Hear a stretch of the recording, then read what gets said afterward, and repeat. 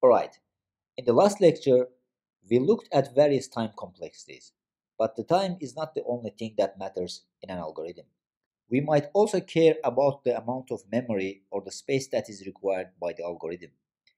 It's a parallel concept to time complexity. Space complexity is a measure of the amount of working storage an algorithm needs. That means how much memory in the worst case is needed at any point in the algorithm.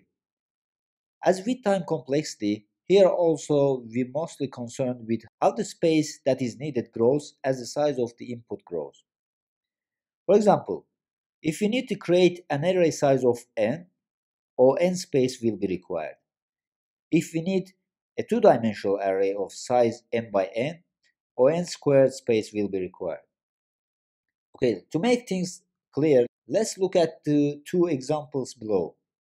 This is just a block of code which is summing up the number from a given number till zero by calling recursive calls. So methods like these, which are calling themselves recursively, count in the space stack. So each calls adds a level to the stack in the memory.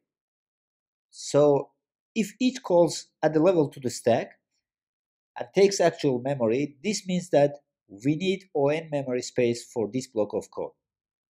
For example, if we call this function for n equal to 3, we see that in each call, it adds a level at the stack. It means it takes a memory in the stack. As the input size grows, the memory that we will, we will need will grow. So for this block of code, uh, space complexity is ON. On the other hand, there might be some cases that n calls do not require ON space.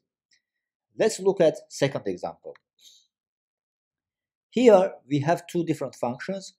In the second function, we are summing up two numbers.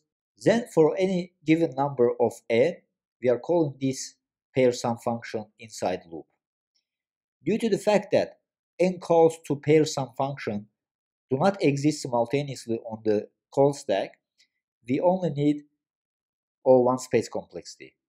Here, uh, the function is not calling itself recursively, it is just called inside this Uh, loop function and it's not adding any level to the stack. That's why it takes O1 space complexity. Okay, this is all for this lecture.